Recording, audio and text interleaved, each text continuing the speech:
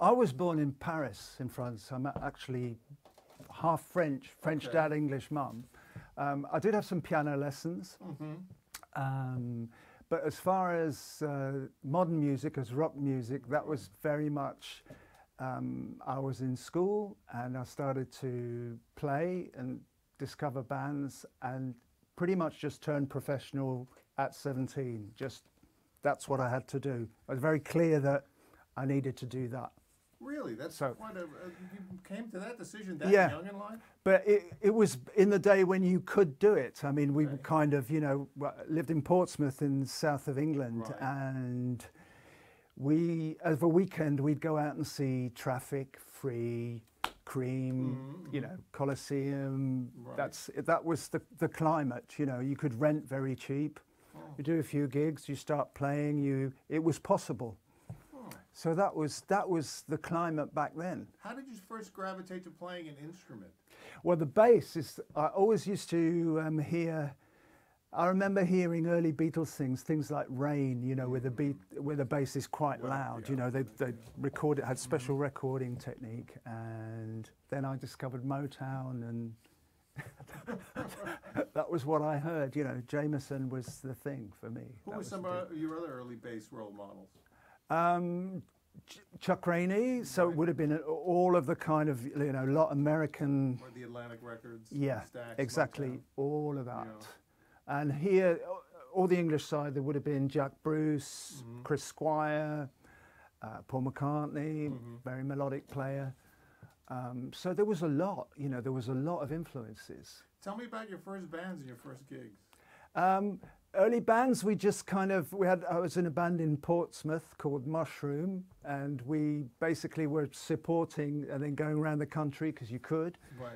Um, and every, you know, over time we started coming up to London Mhm. and mixing with other bands. And then I got asked to do a couple of sessions.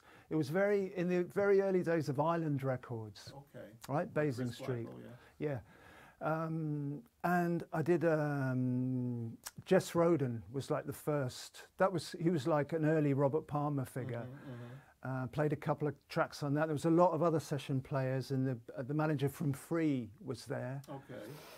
And so from there, I got more work at Island, and sort of started hanging out in London, and then joined other bands, and basically got into that session scene. You tell me about the whole session scene now. Were you, you formally took? Did you have to read a lot of charts, or did you go by feel? Not back in the day. It was Yeah. very much like they'd play you. You know, you'd had quite a bit of time. You know, you'd come in, there'd be players everywhere. You just kind of go, okay, it's what the you know chords of of the verse and the chorus. You kind of yeah, okay, you know. Um, and you had time to get it together. Over Okay. time, the reading you did have to get your chops together. So over time, as more sessions came in, I started doing you know with everything with the small orchestras and you know radio idents you and all of that.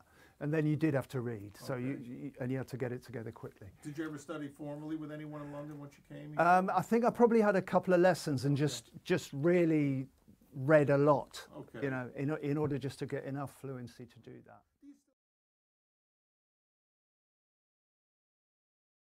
Well, I, I mean, I played with a lot of different people. So, Mhm. so you know, some people who were just in bands ended up having a quite a difficult time. Right. you know, Okay. Uh, but if you had, the, so the advantage of like having many, many choices, you could do sessions or do a tour Right. and move on from that. Only thing is you had to get enough work to, so, you Mhm, know, mhm. that's the disadvantage of that. You've got to kind of really know people. Right. Producers have got to know you. They've got to use you for probably a feel is Mhm. probably what you get hired for, Okay. you know.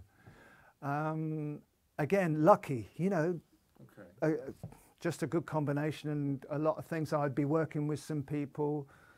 Uh, I might be doing a session for Mark Knopfler, and then some work for Tina would come in, and it was a bit. And we played for Benny King, and then Willy DeVille album, Yeah. yeah. and that was all just through knowing Mark, and all Mark's a lot of Mark's films as well.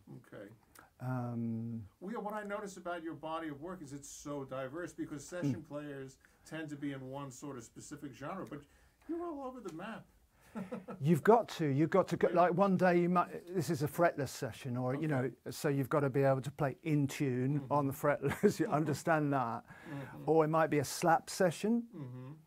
So you you know you would need to be able to switch between flat wounds, round wounds, have all the bases. That's what session player is. It's like you really cover those. Yeah. Do you do you think artists you look to you to be a catalyst, or is it to, to carry out their artistic vision, or is it maybe a balance of the both? Um, if you if they want a bass part, you know they, they could have done something very simple themselves. so Right, they, they okay. want new ideas. Okay. So you've got to come up with you've got to relax and come up with something sort of unusual. Mhm. What would be good in this track? So you could be there a day on one track, right. and you just got to really handle that and settle down into it, and you know give people what they what they're requiring. What wh- when you look back on all those all your session work, what what are the ones that stand out the most? What are the records you're most proud of? I like. Uh, yeah, I was thinking that this morning. This yeah. It's a tough question. It, it is, but there are things I, I like. There was a track, um, a track I did for Chaz Jankel, which is Oh. called "Glad to Know You," which is number one in the states. Ooh. So as you know, he, he was with the Blockheads and Right, doing course. a lot, Yeah, he was their MD. Yeah. and he had a, um, a solo career. Right. Yes, he did. And he did a couple of singles. This single was. Um, I went down. He had a studio down at Chiswick at the time, Okay. so he knew what he wanted, but he had to get it just right. There was a lot of clipped and short notes, and he, it wasn't that easy. So we, again, we're doing that, and it went great. Mm-hmm. And in the morning, they called me and said, "We've wiped the engineer, wiped, right? But can you come in and we've really got to match, you know, the second verse." so, uh, but we did, and it was, and it went to number one. So it was really, that was a nice track. And there was, I was in a band called Runner, which um, Who was in that band?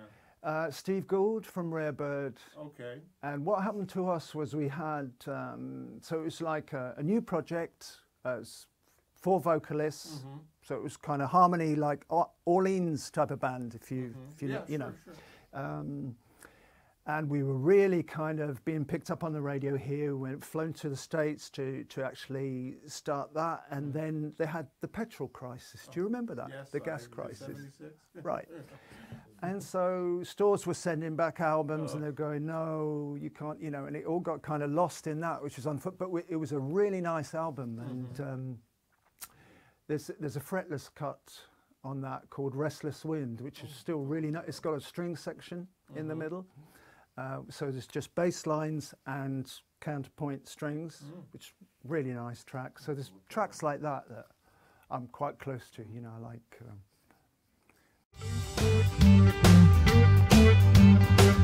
Um...